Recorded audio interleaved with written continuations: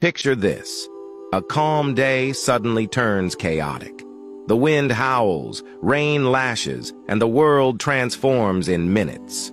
Welcome to squalls. What are these sudden storms? Imagine the atmosphere as a pressure cooker, building tension until it explodes. That's a squall. Wind leaping from breeze to gale force in seconds. We're talking winds surging by 18 miles per hour or more, often bringing nature's full arsenal, thunderstorms, blinding rain, even blizzards. The science is fascinating. Picture an invisible hand pushing down cold air. As it races to the ground, it spreads like a shockwave, creating those intense, short-lived winds. Squalls sometimes team up, forming squall lines the storm world's military formation.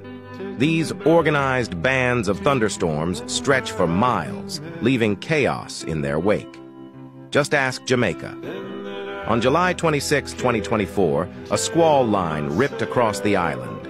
A day earlier in Lusail, a tornado, likely spawned by the approaching squall, tore through town.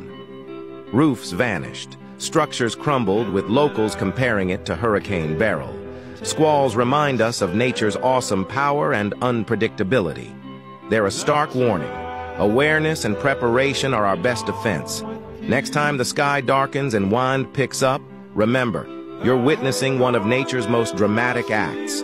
Stay alert, stay safe, and marvel at our atmosphere's untamed power.